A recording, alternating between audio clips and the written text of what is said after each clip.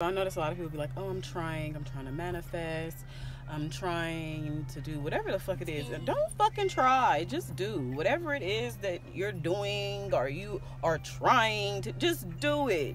Take that try shit out of your fucking vocabulary. Like, just get that shit done. Even if you fuck up, go at it again.